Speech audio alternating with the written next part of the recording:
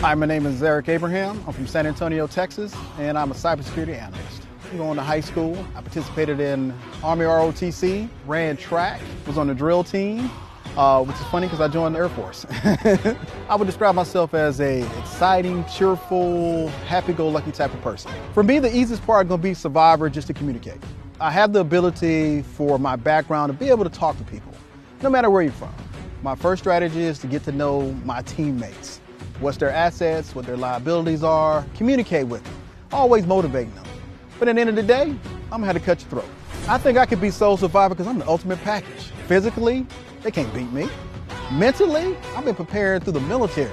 Ruby, my mama, did not send her baby boy out here to be second. Let's do this!